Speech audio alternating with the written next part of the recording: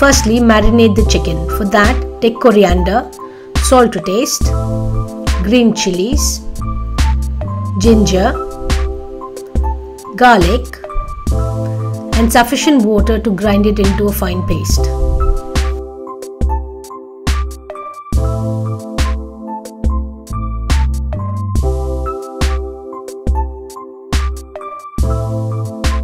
Take about 500 grams of chicken, marinate this for about 15 to 20 minutes.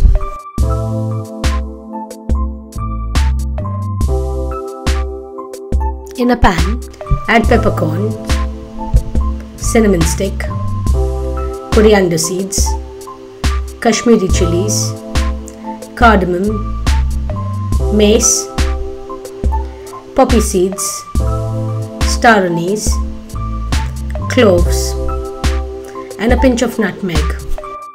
Roast this on low flame for few minutes. Make sure that the spices don't get burnt. Keep the roasted spices aside. In the same pan, add coconut and roast this as well on low flame till the coconut turns brown.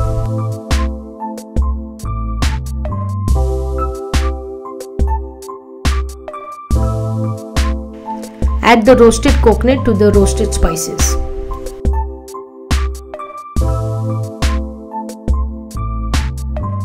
In the same pan, add a little oil. Add sliced onion and fry this till they are light brown.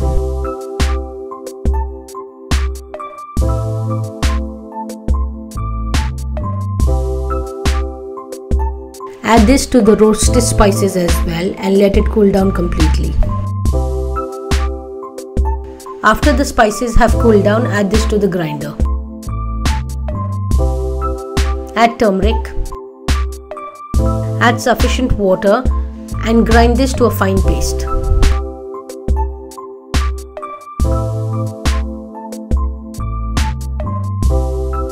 To make the ros, add oil, add green chili, garlic, onions and few curry leaves and saute.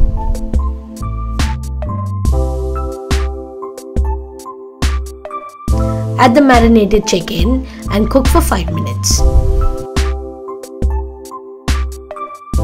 Now add the xacuti masala and 1 and a half cup of water. Mix this well.